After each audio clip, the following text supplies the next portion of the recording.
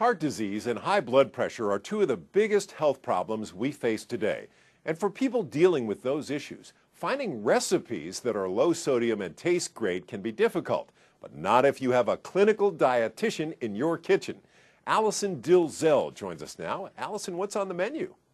Joe, you just mentioned is a common misperception that a lot of people have.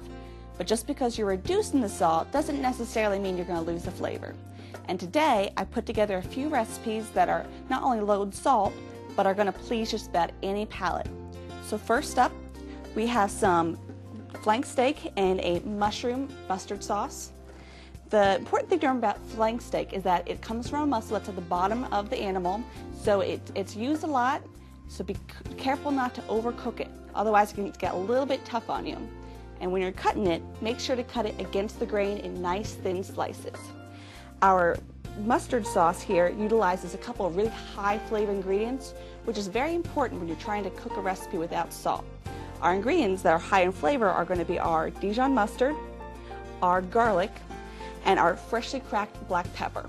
Now, the black pepper is what is crusted on the flank steak. The more pepper you use, the more spice it's going to have. So you can um, change it to your personal taste. The mushrooms that we have here, we have some baby bellas as well as some little white mushrooms. And I'm just going to garnish with a little bit more green onion to give a little bit of color. And that looks beautiful. Our next item is a grilled lemon sage chicken. Our chicken, we pounded out thin to make it nice and tender. It also helps to speed up the cooking time when it's nice and thin like that. We've marinated our chicken in again some high flavor ingredients such as our fresh herbs. We have fresh rosemary and fresh sage.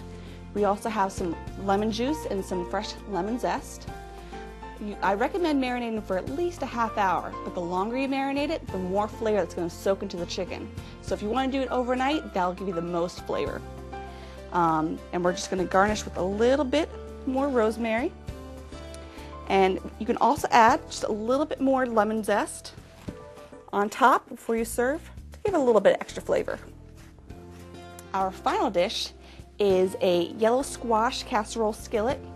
It utilizes a bunch of different vegetables, of course, the yellow squash. We also have some shredded carrot. We also have some green pepper in here.